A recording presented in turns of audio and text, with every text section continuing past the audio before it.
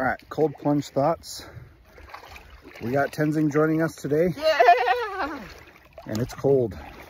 We got ice over there on the lake. Here we go. All right, sit down, buddy. Yeah! Okay. I didn't do a gratitude post for Thanksgiving, so I'm doing it today. I'm thankful for Tenzing because he is up for anything. Even Okay. when it's hard, even when it's difficult, he's like, all right, let's try it. And he's willing. Okay, I'm getting out now. All right, you getting out? Yeah, goodbye. Okay, there we go. Well, that was fun. Dad, should I bring my towel? Should I bring towel in? Uh, yeah, just dry off and then leave it on the thing so I can off when I get up there. All right. Well, 29 degrees outside and it's uh water's about 43.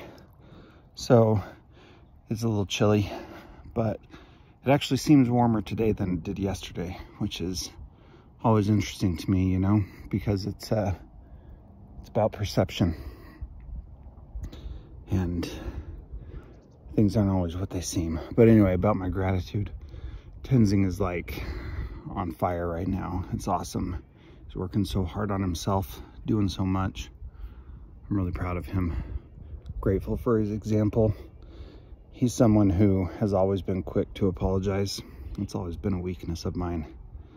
I like, I can never apologize.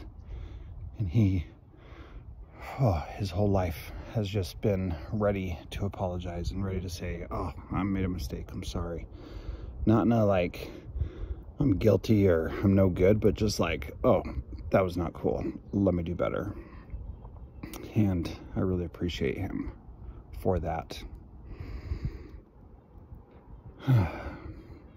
right now, he's in middle school, eighth grade, dealing with all the stuff that comes with that. And he's you know, deciding the kind of person he wants to be. And I'm just really grateful for who that is and what he's doing.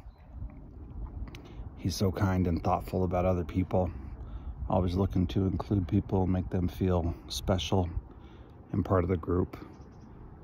Always looking to involve people, do service, be kind. It's just awesome. Really grateful for wonderful kids. So, there we go. I think that's uh that's gonna be three minutes. We'll end it right there.